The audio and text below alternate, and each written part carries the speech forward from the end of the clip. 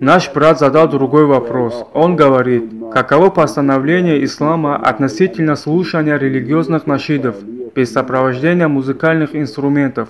Нам неизвестно ничего о порицаемости этого.